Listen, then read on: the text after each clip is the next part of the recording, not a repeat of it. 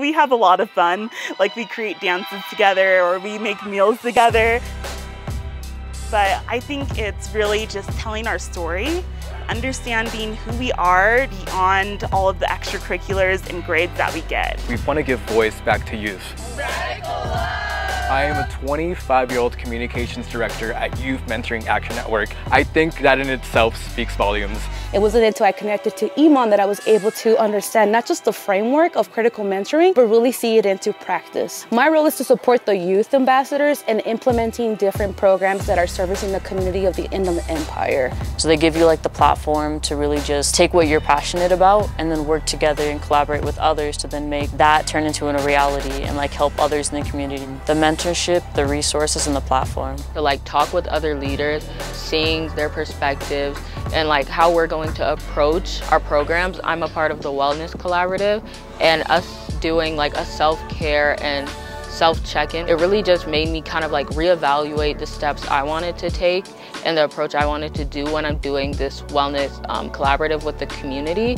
Someone would be really focused on mental health, but other people might be focused more on the LGBTQ movement. But the commonality is that they just want to see positive change. And that's what I really like. I find that really uplifting. Connect with each other through all these different activities and we've learned about each other and kind of like our backgrounds, why we're so passionate about like YMAN.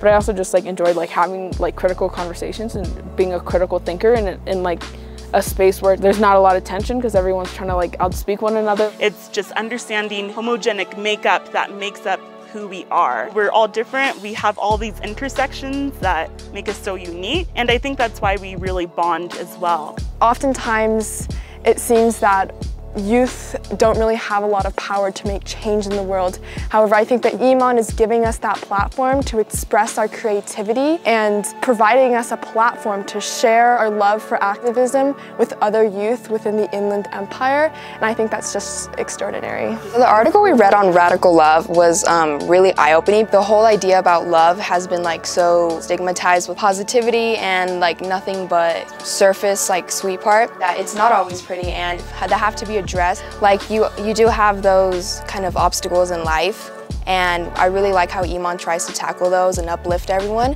So we're all at that kind of like equal spot in life.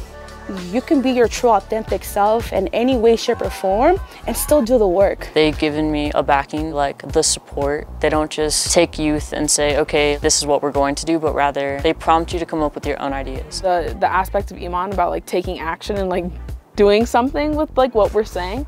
I like that part of it. And that's like something I want to go to school for, um, like policy making in education. I've really enjoyed hearing what they have to say, but then also like giving my opinion. But really creating a space of unity, love, and empowerment. The creative outlet gives me like it gives me a sense of peace in a way and also like it gives my brain a breather and I think it can it can teach you things that academics doesn't teach you. And bonding exercises. Like it's not competitive. What isn't there to love about YMAN, right?